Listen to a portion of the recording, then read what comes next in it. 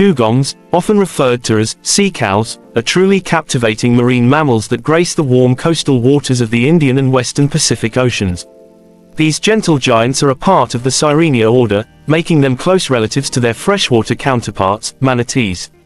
Sporting a unique and streamlined physique, dugongs can grow to impressive lengths of up to 3 meters, 10 feet, and attain weights of around 400 kilograms, 880 pounds.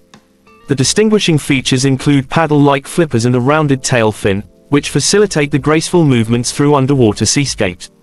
One of the most intriguing aspects of dugongs is their herbivorous diet, predominantly centered around seagrass. Their specialized anatomy, including a split upper lip and powerful jaws, enables them to efficiently graze on this underwater vegetation. They are known to consume substantial quantities of seagrass daily, making them critical players in maintaining the health and balance of seagrass ecosystems.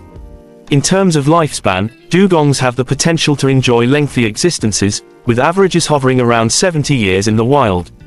However, their populations are increasingly under threat due to a multitude of factors. Perhaps the most pressing concern is habitat loss resulting from coastal development and habitat degradation caused by pollution. Additionally, dugongs face risks such as accidental entanglement in fishing gear, boat strikes, and poaching.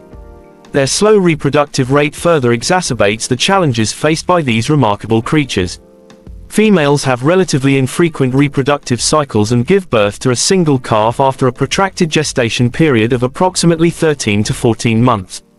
This low reproductive output makes it difficult for dugong populations to recover rapidly from declines.